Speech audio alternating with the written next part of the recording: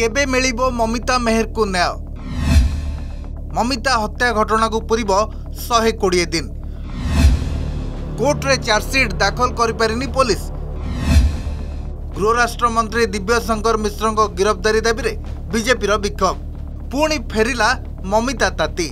ମମିତା ମେହେର ହତ୍ୟା ମାମଲାରେ ମନ୍ତ୍ରୀ ଦିବ୍ୟଶଙ୍କର ମିଶ୍ରଙ୍କ ଗିରଫ ଦାବିରେ ବିଜେପିର ହଲ୍ଲାବୋଲ ନବୀନ ନିବାସ ଘେରାଉ କରିବା ପାଇଁ ଶୋଭାଯାତ୍ରାରେ ବାହାରିଥିବା ବିଜେପି କର୍ମୀଙ୍କୁ ଶିଶୁ ଭବନ ଛକରେ ଅଟକାଇଥିଲା ପୋଲିସ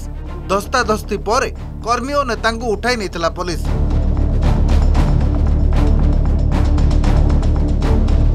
ସେପଟେ କଳାହାଣ୍ଡିରେ ବି ମନ୍ତ୍ରୀ ଦିବ୍ୟଶଙ୍କର ମିଶ୍ରଙ୍କ ଗିରଫ ଦାବିରେ ବିକ୍ଷୋଭ କରିଛି କଂଗ୍ରେସ ଓଡ଼ିଶା ସରକାର ମହିଳା ନୁହେଁ ଅପରାଧୀଙ୍କୁ ସୁରକ୍ଷା ଦଉଛନ୍ତି ଏଠି ଗୋବିନ୍ଦ ସାହୁକୁ ପାଇଲେ ନାହିଁ ଏବେ ଯାଙ୍କେ ଅପରାଧୀଙ୍କୁ ଦଣ୍ଡିତ କରିବାରେ ସରକାର ବିଫଳ ମହାଲିଂ କଲେଜକୁ ବାରମ୍ବାର ଆସୁଥିଲେ ଗୃହରାଷ୍ଟ୍ର ମନ୍ତ୍ରୀ ଦିବ୍ୟଶଙ୍କର ମିଶ୍ର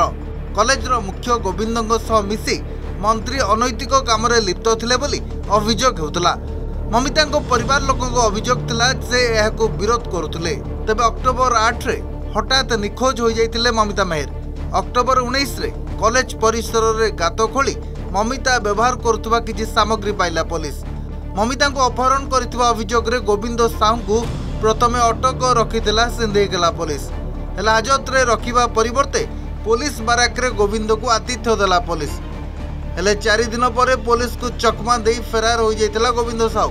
ପରେ ବଲାଙ୍ଗୀର ବନ୍ଧମୁଣ୍ଡାର ଆଖୁ କିଆରୀରୁ ଧରାହେଲା ଗୋବିନ୍ଦ ଆଉ ଖୋଲିଥିଲା ଗୋଟିଏ ପରେ ଗୋଟିଏ ଗୁମର ପୁରା ଘଟଣାରେ ମନ୍ତ୍ରୀ ଦିବ୍ୟଶଙ୍କର ମିଶ୍ରଙ୍କ ବିବାଦୀୟ ଭୂମିକାକୁ ନେଇ କମ୍ପିଲା ପୁରା ରାଜ୍ୟ ରାଜନୀତି ମମିତାଙ୍କ ହତ୍ୟା ପଛରେ ଗୃହରାଷ୍ଟ୍ରମନ୍ତ୍ରୀ ଦିବ୍ୟଶଙ୍କର ମିଶ୍ରଙ୍କର ପ୍ରଚ୍ଛଦ ହାତ ରହିଛି ବୋଲି ଅଭିଯୋଗ ଆଣିଥିଲେ ତାଙ୍କ ବାପା ମା ମନ୍ତ୍ରୀଙ୍କ ଅନୈତିକ ସମ୍ପର୍କର ଗୁମର ଖୋଲିଥିଲେ ମମିତାଙ୍କ ବାପା ପ୍ରତ୍ୟେକ ମାସରେ ଦୁଇ ମାସରେ ସେମାନେ ଆସନ୍ତି ମନ୍ତ୍ରୀ କଲେଜକୁ ଆସନ୍ତି ମହାଲିଂ କଲେଜକୁ ସେଠି ବସନ୍ତି ମହାଲିଂ କଲେଜକୁ କାହିଁକି କାହିଁକି ଆସନ୍ତି ସେ ପ୍ରେସିଡେଣ୍ଟ ଡାକେ ଅନେକ ଝିଅମାନଙ୍କର ସମ୍ପର୍କ ରଖିବା ପାଇଁ ଆଉ ତାଙ୍କର କ'ଣ ସମ୍ପର୍କ ରହିଥିଲା ଶାରୀରିକ ସମ୍ପର୍କ ରଖିବା ପାଇଁ ଆସୁଥିଲେ ମନ୍ତ୍ରୀ ଆସୁଥିଲେ ସେ ଗୋବିନ୍ଦ ସାହୁଙ୍କୁ ଧରିକି ସେମାନଙ୍କ ଅତି ଘନିଷ୍ଠ ସମ୍ପର୍କ ଥିଲା ମନ୍ତ୍ରୀ ସାଙ୍ଗରେ କିନ୍ତୁ ପରବର୍ତ୍ତୀ ସମୟରେ ଦିବ୍ୟଶଙ୍କର ମିଶ୍ରଙ୍କ ସମ୍ପୃକ୍ତି ନଥିବା ନେଇ ବୟାନ ବଦଳାଇ ଦେଇଥିଲେ ମମିତାଙ୍କ ବାପା ରାଜ୍ୟ ସରକାରଙ୍କ ଚାପରେ ବୟାନ ବଦଳାଇଥିବା ନେଇ ଅଭିଯୋଗ ଆଣିଥିଲେ ବିରୋଧୀ ମୁଁ ଆପଣଙ୍କୁ ଜଣାବାକୁ ଚାହୁଁଛେ ଯେ ମୋର ଝିଅ ମମିତା ମେର ଗୋଟେ ଭଲ ଝିଅ ଥିଲା তার হত্যা ପରେ ଆମ ପରିବାର ସବୁ ଭାଙ୍ଗି ପଡ଼ିଛୁ ବହୁତ ଦୁଃଖରେ ଅଛୁ ମୁଁ ଝିଅର ହତ୍ୟାକାଣ୍ଡ ସମ୍ପର୍କରେ ତଦନ୍ତ ବିଷୟରେ ଜାଣିବାର୍ ଲାଗି ପୋଲିସ ପାଖକେ ଯାଇଥିଲି ପୋଲିସ ଯାହା ତଦନ୍ତ କରିଛନ୍ ଆମର ସମ୍ପୂର୍ଣ୍ଣ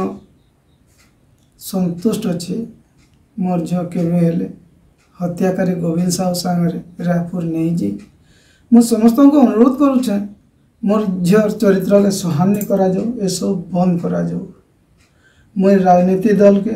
ମିଡ଼ିଆ ମାନେ ହାତ ଯୋଡ଼ି କରି ଅନୁରୋଧ କରୁଛେ ମୋର ଝିଅର ହତ୍ୟା ଘଟଣାରେ ରାଜନୀତି କରାନିଯାଉ ଏସବୁ ବନ୍ଦ କରାଯାଉ ମୋର ପୁରା ଭରସା ଅଛି ମୁଖ୍ୟମନ୍ତ୍ରୀ ନବୀନ ପଟ୍ଟନାୟକ ମୋତେ ନ୍ୟାୟ ଦେବେ ତେବେ ମମିତା ହତ୍ୟାକାଣ୍ଡ ଘଟଣାକୁ ଏହା ଭିତରେ ବିତିବାକୁ ଯାଉଛି ଶହେ କୋଡ଼ିଏ ଦିନ କିନ୍ତୁ ଏବେ ଯାଏଁ କେସ୍ର ଚାର୍ଜସିଟ୍ ଦାଖଲ କରିନାହାନ୍ତି ତଦନ୍ତକାରୀ ଅଧିକାରୀ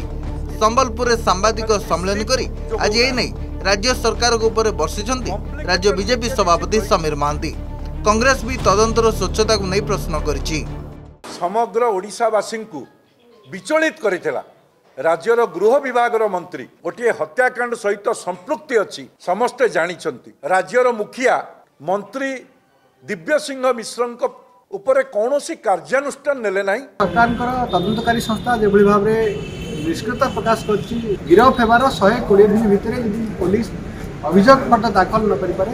ଏହା ବୁଝିବାକୁ ପଡ଼ିବ ଯେ ରାଜ୍ୟ ପୋଲିସ ସଲାସତରା କରି ଅଭିଯୁକ୍ତକୁ ଖସିବା ପାଇଁ ଉଦ୍ୟମ କରୁଛନ୍ତି ଆପଣଙ୍କର ଆଉ କୌଣସି ପ୍ରସଙ୍ଗ ଆପଣଙ୍କ ପାଖରେ ନାହିଁ ଆମେ ସବୁବେଳେ କହିଛୁ ଆଇନ ସବୁବେଳେ ତା ବାଟରେ ଯିବ ଯାହା ପାଖରେ ଗୋଟେ କଥା ସବୁବେଳେ ମୁଁ କହେ ଚୋରଙ୍କ ସାରା ନଜର ଆତେ ହିଁ ଚୋର ମହିଳା ହିଂସାରେ ଓଡ଼ିଶା ଆଗରେ ଥିବାବେଳେ ଦୋଷୀଙ୍କ ଦଣ୍ଡ ବିଧାନରେ ଅଛି ପଛରେ ଏନ୍ସିଆର୍ବି ରିପୋର୍ଟ ଅନୁସାରେ ମହିଳାଙ୍କ ଉପରେ ହେଉଥିବା ନିର୍ଯାତନାରେ ରାଜ୍ୟ ଦୁଇ ନମ୍ବରରେ ଥିବାବେଳେ ରାଜ୍ୟରେ ଦୋଷୀଙ୍କୁ ଦଣ୍ଡ ବିଧାନ ହାର ରହିଛି ନଅ ଦଶମିକ ଦୁଇ ପ୍ରତିଶତ ନ୍ୟାୟ ଅପେକ୍ଷାରେ ମମିତାଙ୍କ ଆତ୍ମା ଘଟଣାରେ ଗୃହରାଷ୍ଟ୍ରମନ୍ତ୍ରୀ ଦିବ୍ୟଶଙ୍କର ମିଶ୍ରଙ୍କ ସମ୍ପୃକ୍ତି ନେଇ